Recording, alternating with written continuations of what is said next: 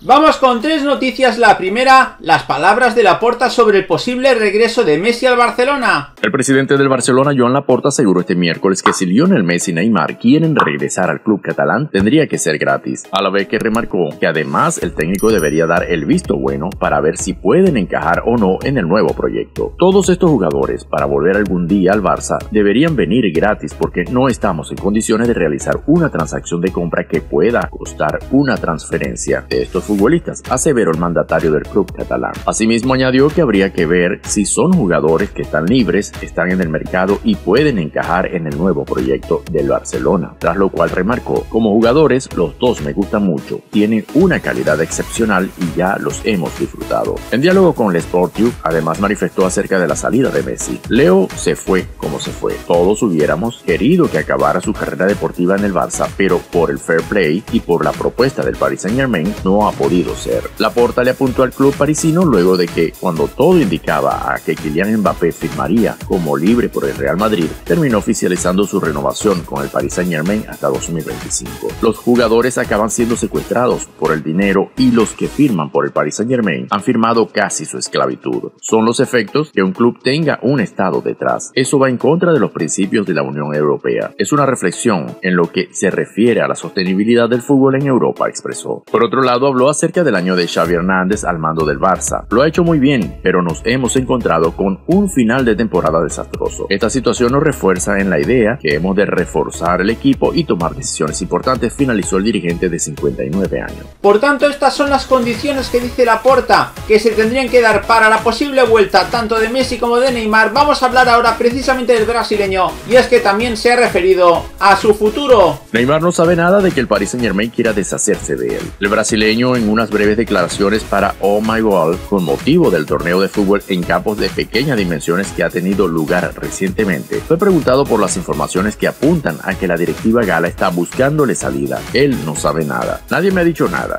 Yo me quiero quedar en el Paris Saint Germain, afirmó. Tendrá fácil cumplir su deseo, pues su contrato se extiende hasta junio de 2025. Si los franceses presionan para verle marchar, tendrán que conseguir que algún pretendiente ponga sobre la mesa su precio, que oscila los 90 millones de euros y abone su salario, que no es precisamente bajo. A tenor de la prensa francesa, la situación del ex del Barcelona es de tal inestabilidad que su compañero Mbappé ve con buenos ojos que se vaya. El delantero ha firmado un buen contrato con el club del Parque de los Príncipes y se le ha proporcionado un estatus que podría llevarle a influir directamente en decisiones de despacho. Una de sus recurrentes vías de escape estos años, el Barça, ya se ha pronunciado al respecto a través de su presidente Joan Laporta. El máximo mandatario no contempla su vuelta si no es de manera gratuita.